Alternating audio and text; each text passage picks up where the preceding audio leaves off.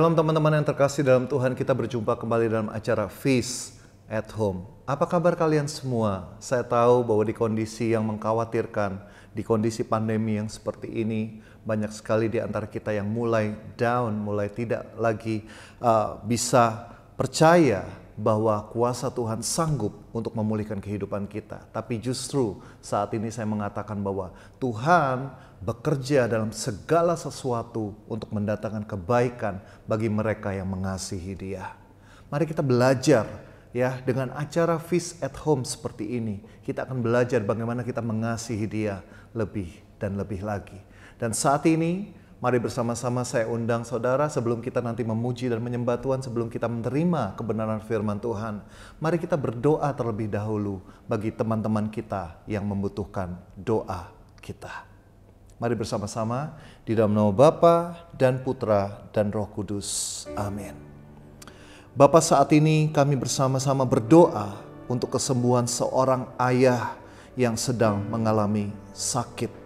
Kiranya Engkau memberikan uh, penghiburan, Engkau yang memakai setiap obat-obatan, setiap dokter yang merawat beliau saat ini dan di dalam namamu kami percaya ada kuasa kesembuhan yang menjamah dia saat ini. Kami juga berdoa bagi seseorang yang memiliki rencana untuk resign dan melanjutkan kembali kuliahnya. Kami percaya Tuhan bahwa Engkau yang mengatur segala sesuatu yang terbaik. Kami mohon penyertaan-Mu atas seorang sahabat kami yang berencana untuk resign, kemudian melanjutkan kuliahnya. Kami percaya bahwa Engkau, Tuhan, akan menyertai dia. Kami juga berdoa bagi seseorang yang meminta kesembuhan atas COVID-19. Bapak, sekalipun ada keraguan, sekalipun saat ini ada kekhawatiran di dalam hatinya, kami percaya bahwa Engkau Allah yang sanggup, yang bekerja dalam segala hal untuk mendatangkan kebaikan bagi kami. Di dalam namamu, di dalam nama Yesus yang penuh kuasa, kami mohon anugerah kesembuhan boleh terjadi saat ini. Kami juga berdoa bagi seseorang yang mohon PCR kedua orang tua uh, dari orang ini negatif. Bapak, biarlah Engkau Tuhan yang berkuasa atas segala sesuatu. Kalau mungkin saat ini proses kesembuhan sedang terjadi, kami percaya pada saatnya, pada waktumu nanti, maka hasil tes PCR dari kedua orang tua dari sahabat kami ini akan negatif dan kau akan pulihkan keadaan mereka 100%. Kami juga uh, berdoa bagi seseorang yang sedang mengalami berusaha untuk memulihkan dirinya dari depresi, apa pun saat ini beban atau pergumulan yang sedang dia hadapi. Tuhan kami tahu Engkau jauh terlebih besar dari segala pergumulan dan masalah yang dia hadapi. Roh Kudus saat ini Engkau berikan dia penghiburan. Roh Kudus saat Engkau yang berikan dia kelegaan di dalam hatinya. Biarkan dia boleh memiliki pengharapan di dalam Engkau untuk melanjutkan kembali kehidupannya, penuhi dia dengan sukacitamu, dengan damai sejahteramu. Kami juga berdoa saat ini untuk Angelin yang telah berpulang pada tanggal 1 Juli kemarin. Kiranya keluarga dari Angelin diberikan kekuatan. Engkau hibur setiap keluarga dari Angelin Tuhan. Kami tahu bahwa pada saatnya kami semua nanti akan kembali kepadamu. Tapi mungkin kami atau keluarga dari Angelin belum merasa siap. Tapi biarlah saat ini roh kudus engkau yang menghibur hati mereka. Berikan mereka kekuatan, berikan mereka keyakinan bahwa rencana Tuhan terjadi untuk mendatangkan kebaikan dalam kehidupan mereka. Kami berdoa untuk almarhum dari Angelin.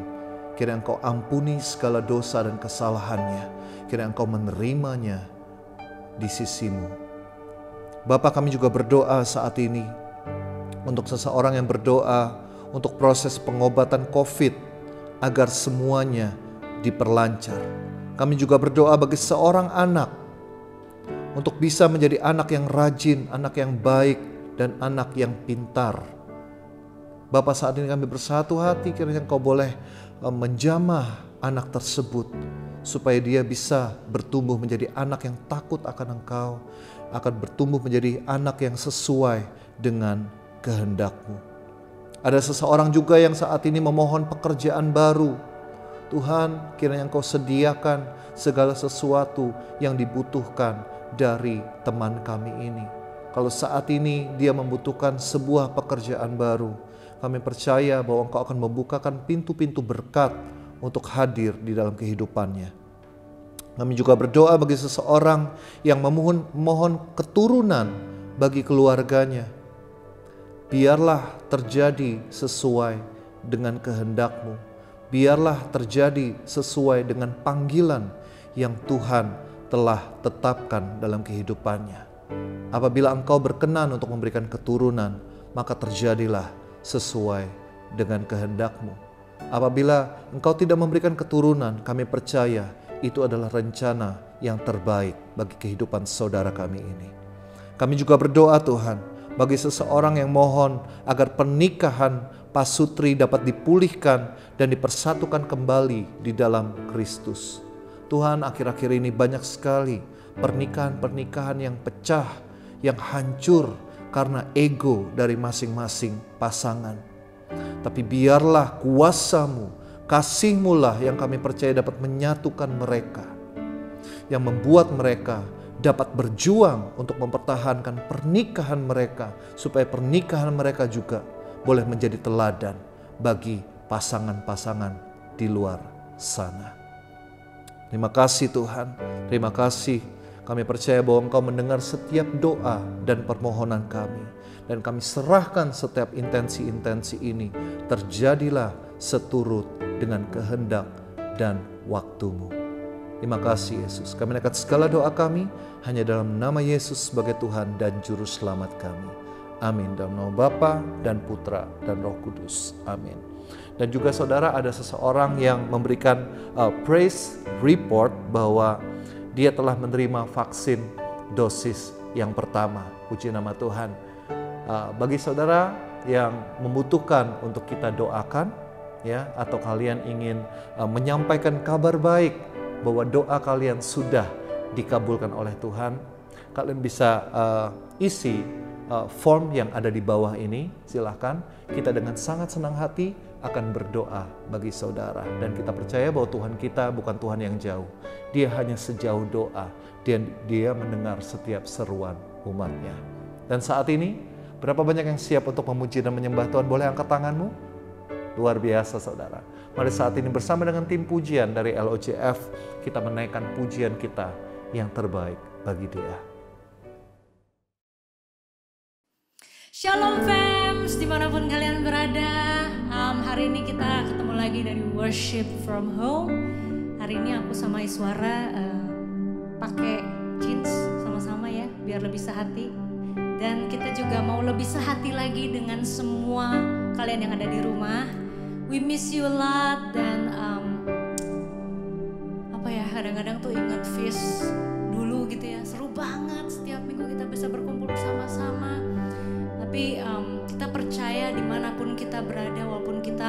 bareng-bareng tapi hadirat Tuhan itu nyata di atas segala pujian kita. Dan kasih Tuhan yang menyatukan setiap dari kita. We are always one in God. Amen? Hari ini kita mau belajar untuk kita boleh follow God's direction. Tuhan kira-kira Tuhan mau bawa hidup kita semua ini ke mana sih Tuhan? Mungkin banyak dari kita mungkin hari ini yang bilang, oh, Tuhan, see the future. Semua jadi nggak pasti gitu ya di masa yang sulit seperti ini. Tapi kita percaya bahwa kita punya Tuhan yang setia. Karena dia sudah berjanji, maka dia akan menepatinya. Hari ini kita mau buka hati kita bersama-sama, kita menyatakan iman kita.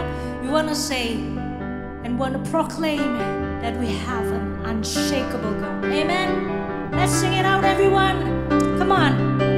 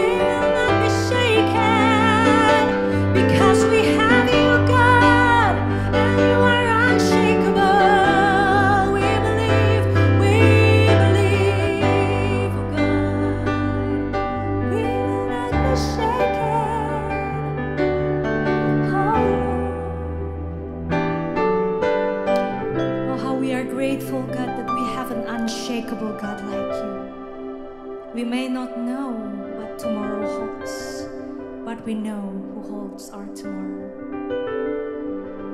Kami percaya Tuhan, Engkau Allah yang baik. Bahwa segala sesuatu yang terjadi itu semua untuk kebaikan.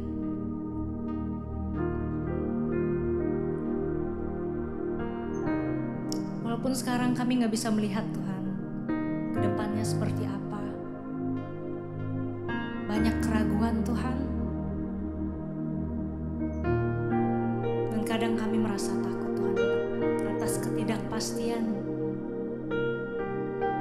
Tuhan kuatkan kami Tuhan, berikan kami iman yang teguh Tuhan. Menjalani setiap hari ini Tuhan.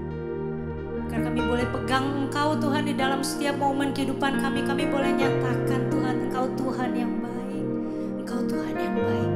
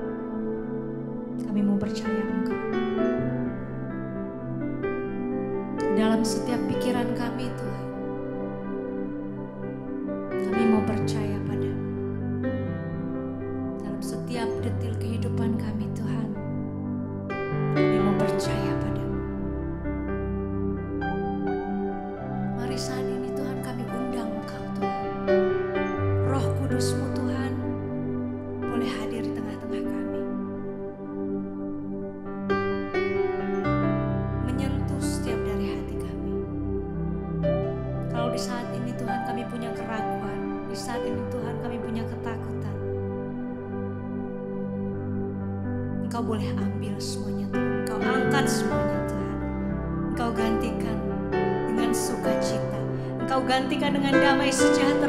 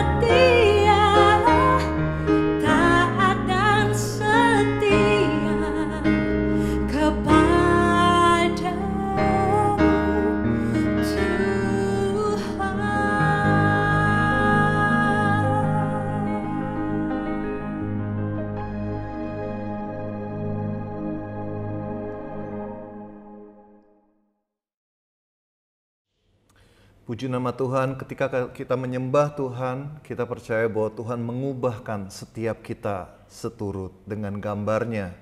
Ada kekuatan yang baru, ada sukacita dan pengharapan yang baru di dalam hadirat Tuhan. Shalom teman-teman yang terkasih, kita berjumpa kembali dalam acara Feast at Home. Dan di bulan ini, tema besar kita adalah Heart Detox.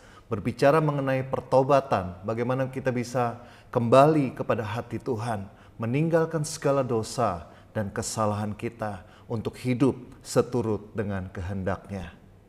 Dan di talk yang ketiga ini judulnya adalah Truth Untold. Kebenaran yang tidak terungkap atau terkatakan. Apa maksudnya itu? Kita akan belajar lebih dalam lagi. Tapi sebelumnya saya ingin mengajak saudara di mana pun kalian berada saat ini. Apa pun keadaan hatimu, keadaan hidupmu. Percayalah bahwa Tuhan hadir dan bersama dengan kita. Mari kita berdoa, doa favorit kita. Di dalam nama Bapa dan Putra dan Roh Kudus. Amin. Mari bersama-sama. Today I receive all of God's love for me. Today I open myself to the unbounded, limitless, overflowing abundance of God's universe. Today I open myself to God's blessings, healing, and miracles. Today I open myself to God's word so that I become more like Jesus every day. Today I proclaim that I'm God's beloved, I'm God's servant, I'm God's powerful champion. And because I'm blessed, I'm blessing the world in Jesus' name. Amen. Mari kita mau angkat tangan kita, kita hormati kebenaran firman Tuhan. Thy word is a lamp unto my feet and a light unto my path. Saudara firman Tuhan hari ini kita ambil dari Matius 3 ayat 7 sampai dengan ayat yang ke-12. Dikatakan tetapi waktu itu ia melihat banyak orang Farisi dan orang Saduki datang untuk dibaptis. Berkatalah Yohanes Pembaptis kepada mereka, "Hai kamu keturunan ular beludak, siapakah yang mengatakan kepada kamu bahwa kamu dapat melarikan diri dari murka yang akan datang? Jadi hasilkanlah buah yang sesuai dengan pertobatan. Dan janganlah mengira bahwa kamu dapat berkata dalam hatimu, Abraham adalah bapa kami.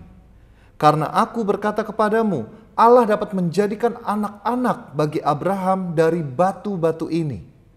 Kapak sudah tersedia pada akar pohon, dan setiap pohon yang tidak menghasilkan buah yang baik pasti ditebang dan dibuang ke dalam api. Aku membaptis kamu dengan air sebagai tanda pertobatan, tetapi Ia yang datang kemudian daripadaku lebih berkuasa daripadaku, dan aku tidak layak melepaskan kasutnya.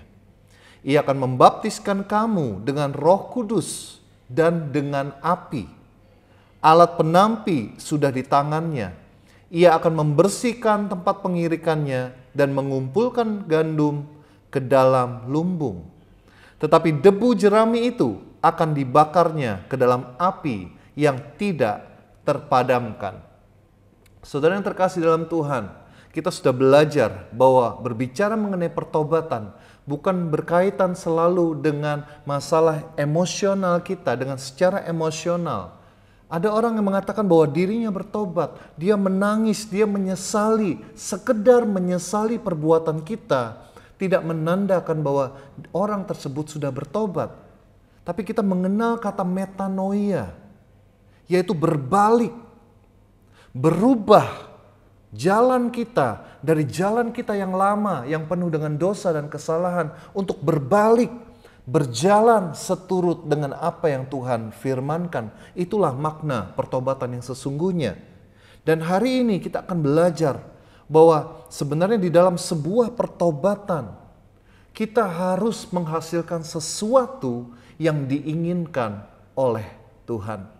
Apa itu? Kita akan belajar lebih dalam lagi, tapi sebelumnya mari kita mau siapkan hati sungguh-sungguh untuk menerima kebenaran firman Tuhan ini. Kita berdoa bersama-sama. Bapa kami membuka hati kami saat ini. Kami terbuka atas segala teguranmu, atas segala jamahanmu, atas segala petunjukmu yang ingin engkau sampaikan kepada setiap kami pada hari ini. Biarlah Tuhan kami boleh belajar, kami boleh datang sebagai seorang murid yang sungguh-sungguh mau untuk mendengarkan setiap kebenaran firman-Mu dan kami akan melakukannya dengan pertolongan kuasa roh kudus-Mu. Kami siap untuk menerima kebenaran firman-Mu. Kami akan segala doa kami hanya dalam satu nama yang penuh kuasa di dalam nama Yesus sebagai Tuhan dan Juru Selamat kami. Amin. Mari bersama-sama kita mau angkat tangan kita. Sekali lagi kita mau katakan, Thy word is a lamp unto my feet and a light unto my path. Kita berikan sorak-sorai kemuliaan bagi Tuhan kita. Kita kembali kepada pertanyaan tadi, apa yang Tuhan Yesus inginkan, hasil yang Tuhan inginkan dari buah pertobatan kita. Di ayat yang ke-8 dikatakan bahwa jadi hasilkanlah buah yang sesuai dengan pertobatan.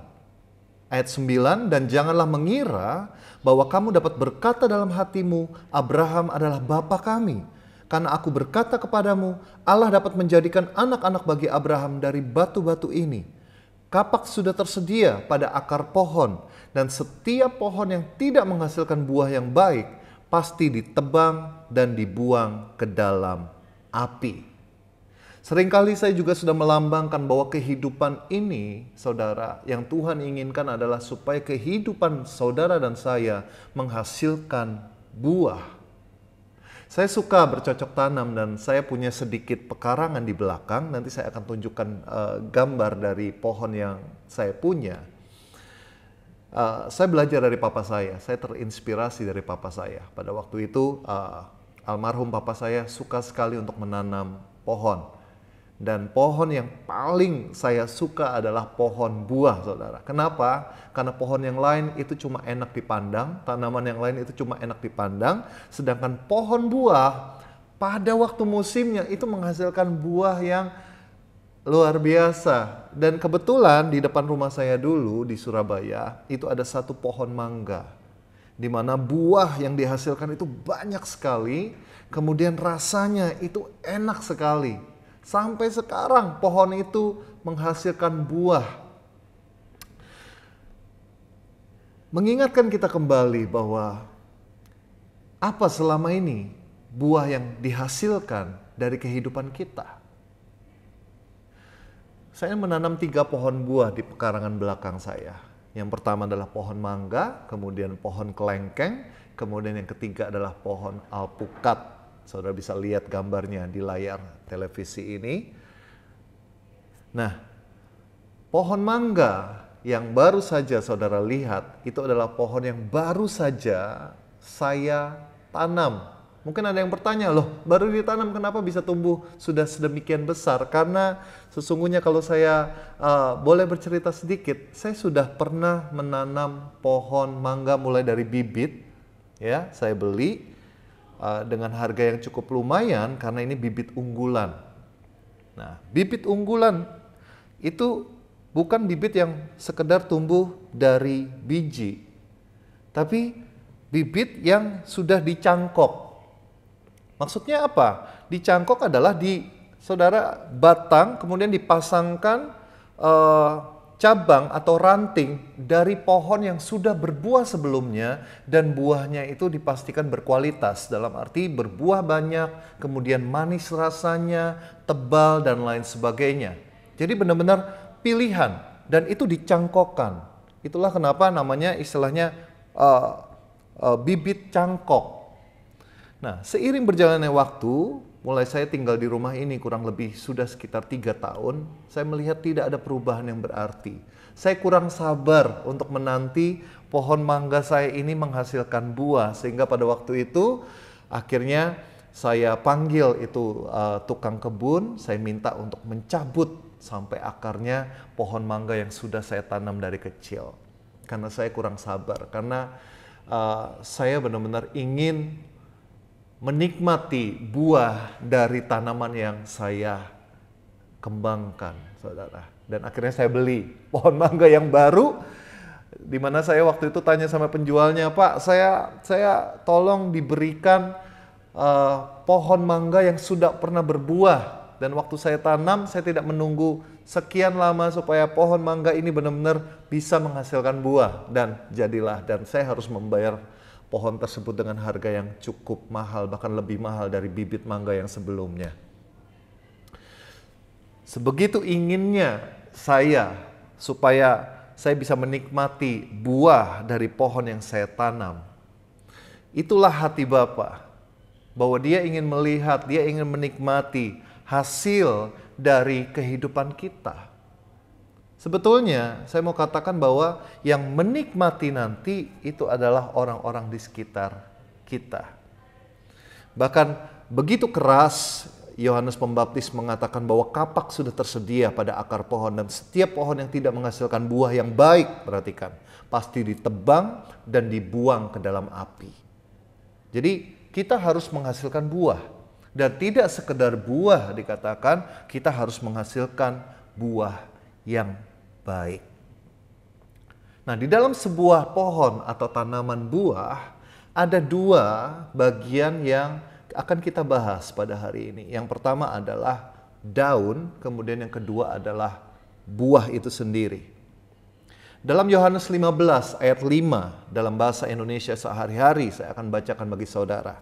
Akulah pohon anggur dan kalian cabang-cabangnya. Orang yang tetap bersatu dengan aku dan aku dengan dia akan berbuah banyak. Sebab tanpa aku kalian tidak dapat berbuat apa-apa. Perhatikan. Kita dikatakan bahwa kita adalah rantingnya, kita adalah cabangnya. Dan di dalam setiap cabang di pohon itu terdiri dari uh, kumpulan daun-daun. Melambangkan dua hal dalam kehidupan kita. Daun berbicara mengenai religious behavior, and then fruits itu melambangkan relational behavior. Nah, mari kita bahas mengenai daun. Jadi saya baca, saya coba googling ya, daun itu di di di secara simpel adalah bagian tumbuhan yang berfungsi sebagai tempat berlangsungnya fotosintesis. Nah, itu namanya daun. Dan daun itu banyak mengandung zat warna hijau daun yang disebut dengan klorofil. Dengan kata lain, daun adalah suatu tempat produksi makanan bagi tumbuhan. Segala unsur hara yang diserap dari akar, yang di dialurkan, uh, dialirkan sehingga sampai ke daun, berkumpul di sana segala macam dan akhirnya ketika daun tersebut uh, ber, mengalami proses fotosintesis dengan pertolongan sinar matahari itu menghasilkan makanan, Saudara. Yohanes Pembaptis mengatakan kepada orang Farisi bahwa kalian adalah orang-orang religius. Ya, orang Farisi itu bukan orang yang tidak mengenal agama. Di talk yang pertama saya sudah membahas mengapa Yohanes Pembaptis, mengapa Yesus mengecam orang Farisi Padahal secara kehidupan mereka menjalankan amat sangat menjalankan hukum Taurat. Luar biasa sekali, mereka melakukan segala hal-hal ritual agamawi secara luar biasa, lebih daripada orang-orang pada umumnya. Tapi tetap mereka dikecam oleh Yohanes Pembaptis, oleh Yesus sekalipun. Karena orang Farisi itu hanya terfokus pada daun saja. Pada religious behavior, pada sikap kita untuk melakukan hal-hal agamawi, saudara. Contohnya adalah apa sih uh, religious behavior? Contohnya adalah ketika kita mengikuti feast at home seperti ini. Ketika saudara dan saya mungkin punya waktu untuk berdoa setiap hari membaca firman, berkomunitas, saudara ikut uh, misa, ekaristi. Tapi kita berhenti hanya pada kegiatan-kegiatan tersebut saja. Nah, daun seharusnya itu menyerap sinar matahari, melakukan proses fotosintesis untuk menghasilkan apa saudara? Menghasilkan buah. Itu yang seharusnya terjadi. Saya dulu tidak mengerti kenapa uh, hal ini dibahas. Daun lah, kenapa harus menghasilkan buah. Ketika saya berusaha menanam pohon buah, saya baru mengerti tujuan saya, goal saya, goal dari sebuah tanaman buah adalah menghasilkan buah. Supaya bisa saya nikmati, supaya bisa orang-orang di sekelilingnya menikmati hasil dari pohon tersebut. Ternyata saya menemukan salah satu penyebab pohon tidak berbuah itu adalah karena dia terlalu rimbun. Nah mungkin aneh ya, kenapa kok pohon yang rimbun itu susah untuk menghasilkan buah? Ya, pada waktu saya menanam, uh, terutama yang sudah menghasilkan buah ini pohon kelengkeng. Nah, mungkin bisa ditampilkan ya nanti di, di layar saudara. Nah ini pohon kelengkeng. Ini sebelum saudara menyaksikan foto yang ada di layar saudara saat ini, ini pohon kelengkeng ini sangat-sangat rimbun sangat-sangat rimbun dan saya senang banget pada saat waktu saya melihat uh, pohon alpukat, pohon kelengkeng, pohon mangga, pohon kelengkeng ini pohon yang paling rimbun pada waktu itu. Saya sangat-sangat happy karena saya merasa wow, saya berhasil untuk bisa menumbuhkan pohon kelengkeng ini. Tapi setelah saya tunggu lama, lama, lama, lama, tahukah saudara meskipun pada waktu itu dia sudah menghasilkan buah, itu buahnya itu cuma tujuh biji saya diketawain sama istri saya Yolanda ini sudah sudah tiga tahun eh ternyata buah yang dihasilkan itu cuma tujuh biji. Selidik punya selidik saya belajar mengenai pohon mengenai pohon buah terutama. Akhirnya saya menemukan bahwa saya harus melakukan yang namanya pemangkasan atau pruning. Jadi setiap dahan-dahan pohon yang tidak uh, menghasilkan buah yang tidak berguna saya harus potong. Saya harus benar-benar uh, sisihkan semuanya itu. Bahkan di salah satu video di YouTube, saya sampai sampai browsing itu petani-petani buah, saudara. Dan dia waktu itu uh, bilang, jangan pernah kita itu merasa sayang kalau misalnya kita melihat bahwa oh cabang yang ini itu tidak potensi untuk menghasilkan buah meskipun itu kelihatannya uh, besar cabangnya kamu harus berani potong karena itu menghambat dari pertumbuhan tanaman buahmu. Dan saya melakukan itu sehingga saya percaya bahwa melalui proses pemangkasan ini, sekalipun itu dibersihkan, sekalikan itu harus sakit ya bagi kita juga sebagai manusia. Tuhan ingin supaya kita hidup seturut dengan apa yang Dia sudah tetapkan. Dan ketika kita mengalami proses pemangkasan, segala sesuatu yang tidak berkenan di hadapannya. Saudara, itu bukan proses yang mudah. Itu proses yang mungkin sulit, yang sukar, yang kita merasa sakit ketika kita diproses. Tapi tahukah saudara, segala proses itu menjadikan kita lebih baik dan pada akhirnya kehidupan saudara akan menghasilkan buah untuk kemuliaan nama Tuhan. Amin saudara. Jadi pohon, pohon buah itu tidak berguna jika dia tidak menghasilkan buah dan itu adalah kehidupan saudara dan saya. Nah, sekarang kita setelah kita membahas mengenai daun, mari kita membahas mengenai buah. Apa buah yang dimaksud di sini? Di dalam Galatia 5 ayat 22 sampai 23 dikatakan, tetapi buah roh ialah apa? Kasih, sukacita, damai sejahtera, kesabaran, kemurahan, kebaikan, kesetiaan, kelemah lembutan, penguasaan diri. Tidak ada hukum yang menentang hal-hal itu. Buah berbicara mengenai relational behavior. Bagaimana perilaku kita dalam menjalin relasi terhadap sesama kita manusia. Buah berbicara mengenai bagaimana aku, saya berelasi dengan orang lain. Dan pesan dari Tuhan adalah Tuhan mencari buah, Tuhan tidak mencari daun. Tapi saya mau katakan kita perlu daun supaya kita bisa menghasilkan buah. Karena di dalam daunlah terjadi proses fotosintesis yang menghasilkan makanan dan makanan yang melimpah itu akan disimpan dalam bentuk buah. Karena di dalam buah sendiri itu terdapat biji.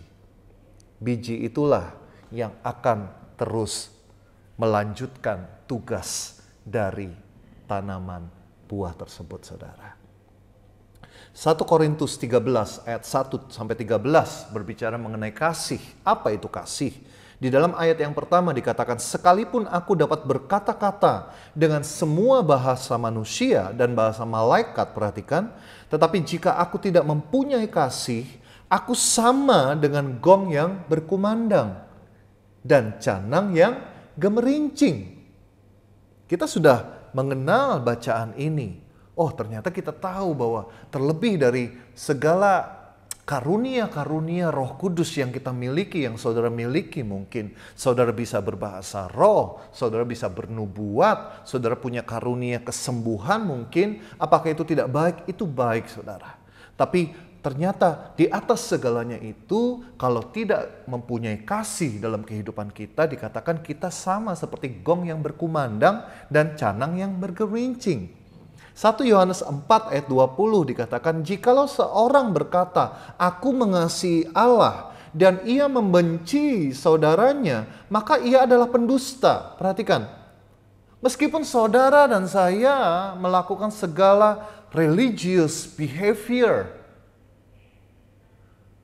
tapi kalau kita membenci saudara kita, kalau kita tidak menghasilkan buah, membentuk relational behavior yang baik dengan orang-orang sekitar kita, firman ini mengatakan bahwa saudara dan saya adalah seorang pendusta. Karena barang siapa tidak mengasihi saudaranya yang dilihatnya, dikatakan, tidak mungkin mengasihi Allah yang tidak dilihatnya. Jadi kalau kita mengatakan bahwa kita mengasihi Allah, sudah seharusnya kita juga belajar, kita harus bisa mengasihi saudara kita, kita harus bisa mengasihi orang-orang lain yang ada di dunia ini. It's not enough to be religious. Tidak cukup bagi saudara dan saya menjadi orang yang beragama atau melakukan segala ritual agamawi. Tidak cukup. Karena yang Tuhan inginkan adalah hidup kita yang penuh dengan kasih, yang menjadi berkat bagi orang lain.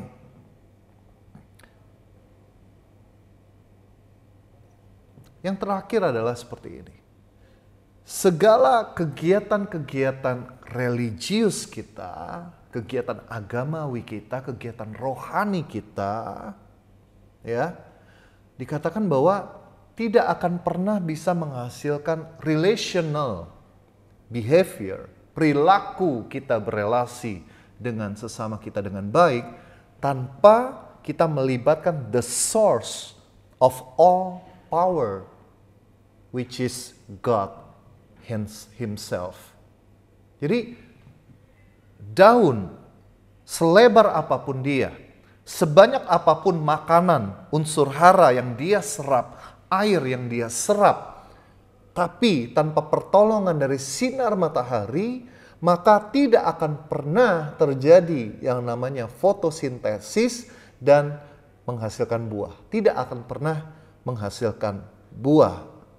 Dan saya mau katakan sinar matahari itu melambangkan dari Tuhan sendiri. So, you need to receive love to give love. Saudara harus menerima kasih Allah terlebih dahulu sebelum hidup saudara itu boleh mengasihi orang lain. Dan kita harus memilikinya dengan kelimpahan, saudara. So, here's the complete equation. Leaves itu melambangkan daun, itu melambangkan religious behavior. Fruits, buah itu melambangkan relational behavior. And sun itu melambangkan Tuhan sendiri. Dan di dalam pelayanan Yohanes Pembaptis, ada dua action, ada dua tindakan yang dia lakukan. Yang pertama adalah dia memanggil, dia mengajak semua orang untuk bertobat.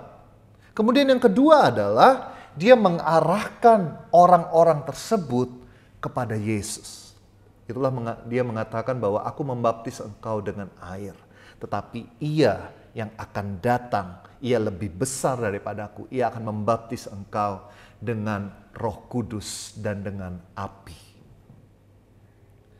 Saya belajar dari Yohanes Pembaptis. Dia mengatakan, bahwa biarlah aku semakin kecil dan dia semakin besar dalam kehidupanku.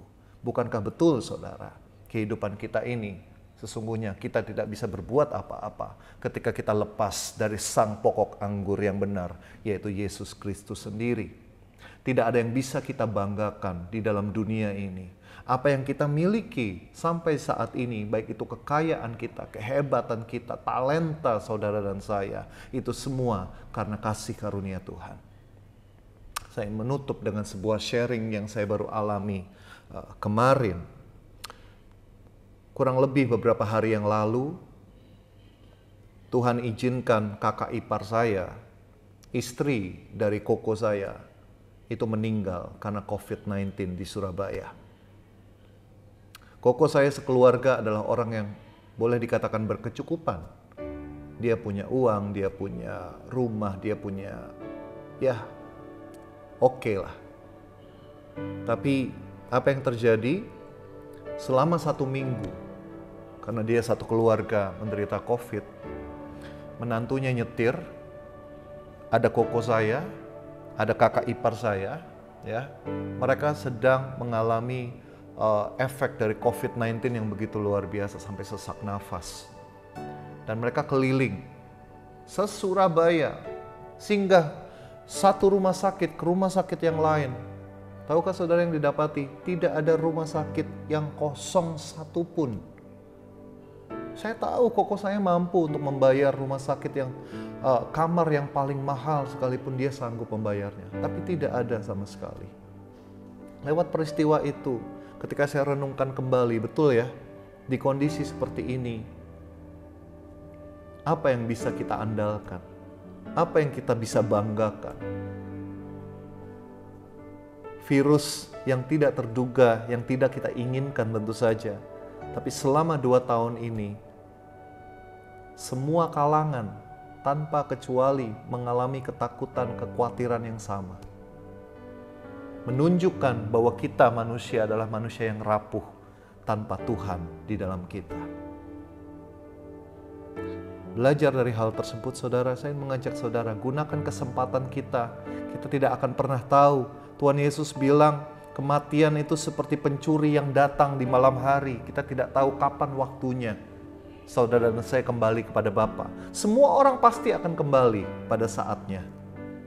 Dan kita tidak akan pernah tahu itu kapan. Tapi yang bisa kita lakukan adalah kita berjaga-jaga. Kita mempersiapkan hidup kita. Supaya apa? Supaya hidup kita ini ketika kita menghadap kepada Bapa, dia akan menemukan buah dari kehidupan saudara dan saya.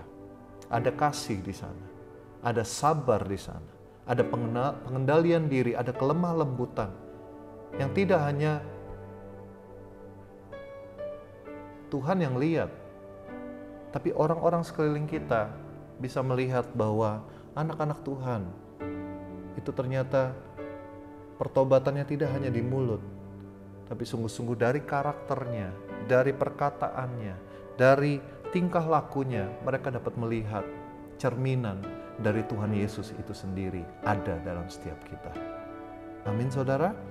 Semoga apa yang saya beritakan pada mal pada hari ini ini boleh menjadi berkat, boleh membawa kita untuk sungguh-sungguh mengalami pertobatan di dalam Tuhan dan kehidupan saudara dan saya menghasilkan buah yang baik untuk kemuliaan nama Tuhan. Mari saat ini kita bersatu dalam doa. Tuhan terima kasih untuk kebenaran firman-Mu pada hari ini. Biarlah hidup kami boleh menghasilkan buah yang baik untuk kemuliaan namamu. Biarlah Tuhan, pertobatan kami tidak sekedar kami tunjukkan dengan segala rutinitas rohani, kegiatan rohani atau agamawi yang kami lakukan. Tapi karakter kami, perbuatan kami, sikap kami, terutama di masa pandemi ini, kami boleh belajar untuk peduli tidak hanya terhadap diri kami sendiri, tapi kami juga peduli terhadap orang-orang di sekeliling kami yang membutuhkan uluran tangan kami secara nyata. Dan biarlah kehidupan kami ini boleh dipakai untuk menyatakan kemuliaan nama Tuhan. Terima kasih Tuhan. Kami menaikkan segala doa kami hanya dalam satu nama yang penuh kuasa di dalam nama Yesus sebagai Tuhan dan Juru Selamat kami. Amin. Dalam nama Bapa dan Putra dan Roh Kudus. Amin. Saudara, mari saat ini bersama dengan tim pujian kita boleh angkat hati kita, angkat penyembahan kita yang terbaik bagi Tuhan. Nyatakan, jadikan hidup kami ini indah di hadapanmu Tuhan. Amin.